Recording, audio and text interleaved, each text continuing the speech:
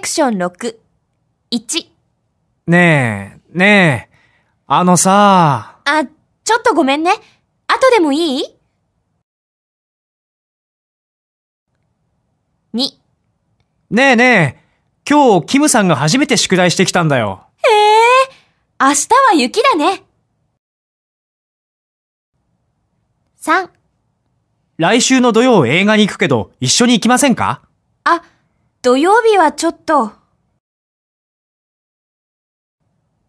4。すみません。ちょっとよろしいですか？あ、リカルドさん、何ですか ?5。ふふ？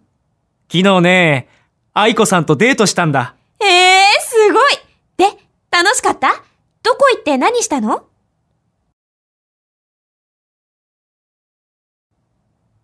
6今日は午後から台風が来るそうですね。うん。早く帰った方がいいね。7ねえ、まだバス来ないの？うん。遅いね。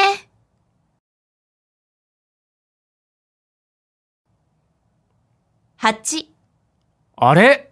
この時計合ってる？うん。私のと同じだけど。